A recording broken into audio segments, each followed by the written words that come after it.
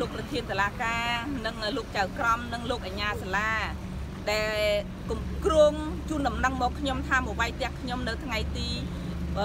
22ខែ8 2019ខានស្អែកនេះសូមឲ្យលោកផ្អាកការអនុវត្តវាយផ្ទះនិងរុះរើផ្ទះនេះចេញសិនចុះសូមឲ្យលោកឲ្យភាគីអឺអៀនអ៊ីឡែននិងលោកយុនសរ៉ាត់ដាក់អង្គសេចក្តីរងចាំស្ថាពរចប់សិ នចាំលោកអនុវត្តហើយមួយទៀតខ្ញុំសូមទទូចអង្គវត្តដល់ឯកឧត្តមគូចម្រើន ជាអភិបាលនៃគណៈអភិបាលខេត្ត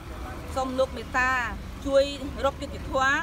ដល់ខ្ញុំផងនិងលោកប្រធានមន្ត្រីសូយ៉ដីសូមលោកពិនិត្យស្រាវជ្រាវតាមចំណាដ៏ខ្ពស់របស់ឧបជាសភារាចេញថ្ងៃទី1ខែសីហាឆ្នាំ